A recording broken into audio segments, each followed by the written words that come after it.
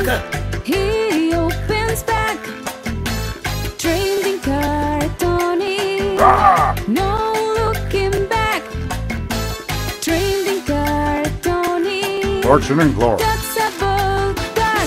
Hello, it's me, Trading Card Tony. with Pokemon Trading Card Game Sun and Moon Crimson Invasion sampling pack. Three additional game cards. So, again, we don't know if these are going to be worth anything. Who knows? It's just a sample pack, so they're not going to put anything rare in here. But Pokemon fans do go crazy for this stuff. So, who knows? We might get a a bingle bong or whatever they're called. I don't know. Um, Jigglypuff. Who's he? We don't know. Um, who's Jigglypuff? Houndour. I'll just put them out here and then you can have a look and properly. A Pikachu. There he is.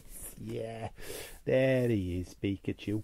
Um, Sun and Moon Crimson Invasion. I've got no idea what these are, but they look nice, don't they? If you're watching, leave in the comments. Tell me what you what you've got. Have you got these? Do you want them? Do we need to trade for them? I don't know.